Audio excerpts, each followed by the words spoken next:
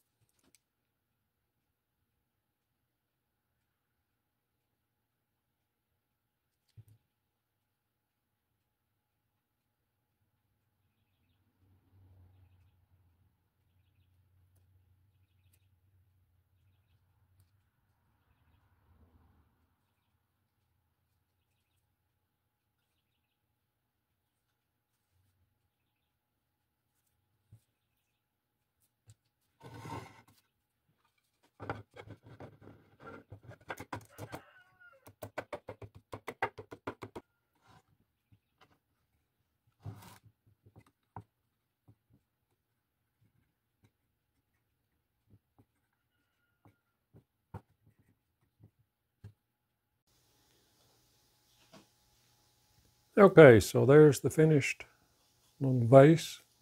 Steve Good calls that a mini vase, I believe.